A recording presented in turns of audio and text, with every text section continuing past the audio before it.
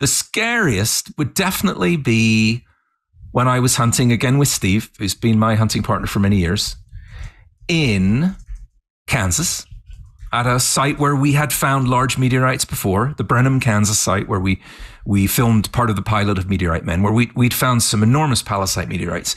And we were dragging a very large metal detector coil over the ground, and we got a whopping target. It really howled through the speakers. We go, oh, this is one.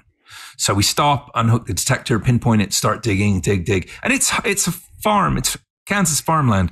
There's a bit of soil, and then you get into the clay, and it's it's hard. It's viscous. So we're digging, we're digging, and you know how you get in the bottom of a hole and you dig, and then you get out and you get in and do this. So uh, we're doing this, and fortunately, we're both out of the hole when the entire bottom of the hole collapsed into a void, wow. and there was this this sigh like.